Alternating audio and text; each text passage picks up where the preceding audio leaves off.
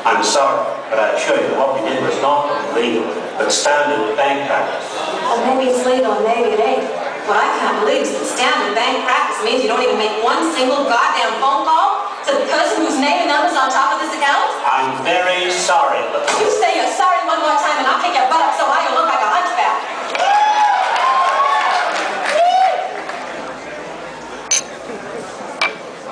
It's because I'm a woman, ain't it? If it'd been the other way around, I've been the one passing out the fairy story how I'd lost a passbook and asked for a new one, if I'd been the one who started drawing out, it took 11 years to put in, you have come too.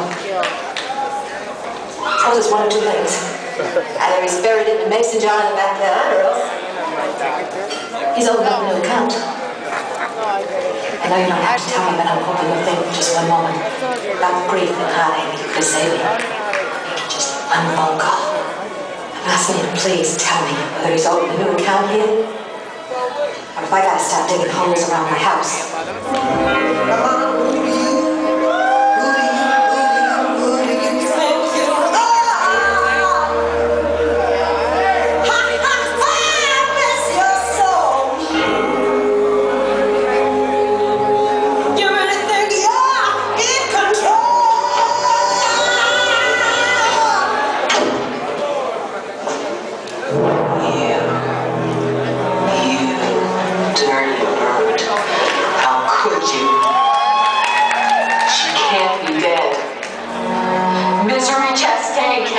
Be dead. Annie in 1871 went off and died in childbirth. Misery Spirit is still alive. I don't want her dead. I want her. I her. No, I didn't. Who did? No, she she died. She just slipped away.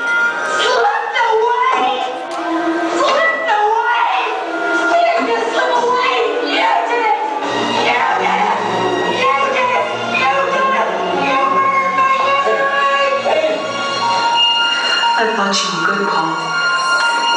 But you're not good.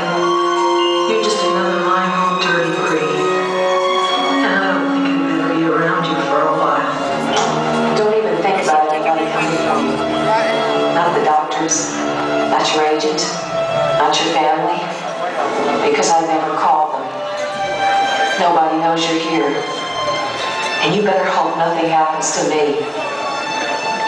Because if I die, you die.